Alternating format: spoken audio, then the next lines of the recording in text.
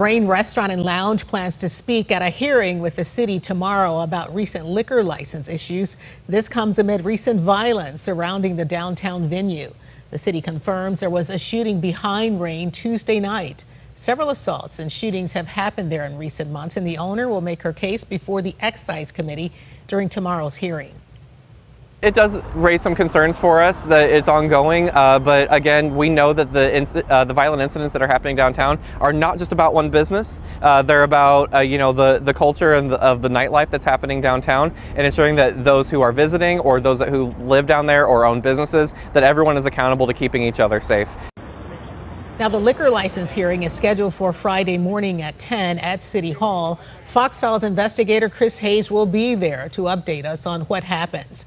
Now, a second hearing regarding public nuisance violations takes place September 20th.